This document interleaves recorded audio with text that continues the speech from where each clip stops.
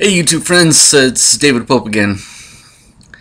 I realize at this point that some of you are confused. Some of you know me uh, all my life and knew me as a Christian, and now I'm posting all these YouTube videos extolling the virtues of theistic agnosticism, and you're wondering, well, what the hell happened?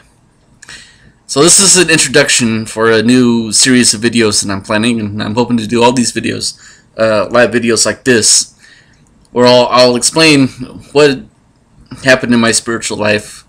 Everything from uh, how I grew up, what kind of churches I went to, basically my religious experiences up to, including my current uh, experiences with agnosticism and, and what actually caused uh, my spiritual life to change.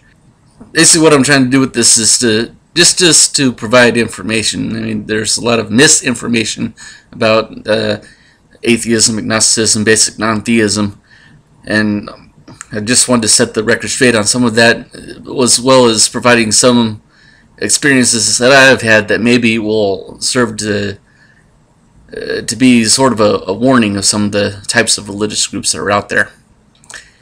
Uh, thanks for watching.